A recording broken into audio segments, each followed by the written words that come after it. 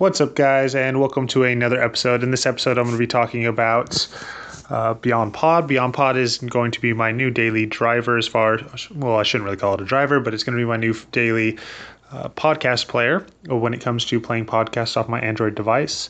Uh, this is a beautiful redone, completely materialistically designed.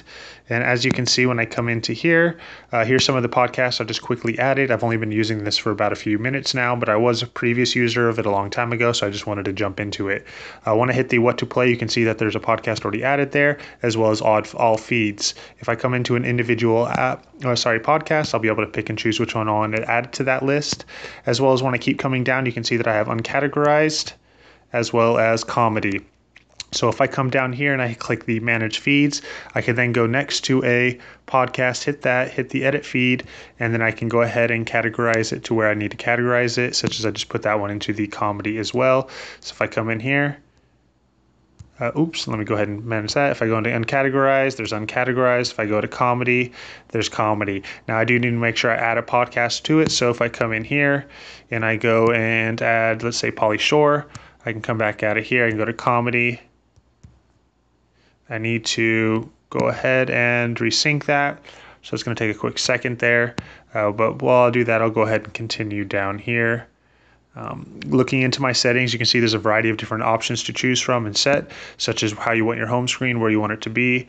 Uh, I'll go ahead and go into my player, uh, how you want your uh, feed list ordered, so on. Just the basic understanding the general settings. Your player settings, on the other hand, are going to be some changes if you want to change how your forward and backward skipping works, how it streams, uh, the quality uh, playlist settings, how much what you want to do after you've played an episode, when a playlist ends, and so on.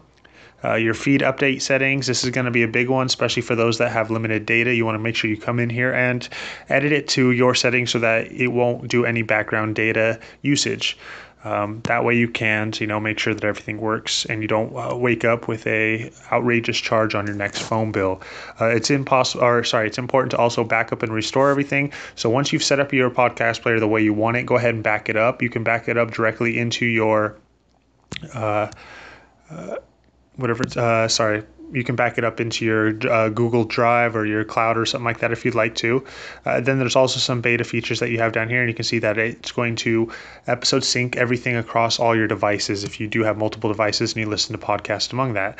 Now, this is the basics of what Beyond Feed, or sorry, Beyond uh, pod is all about. Now, I do want to quickly say that if you come in into here and you add a podcast, you can see that there's a variety of different ways of searching for new podcasts. That's one of the main reasons why I switched over to this.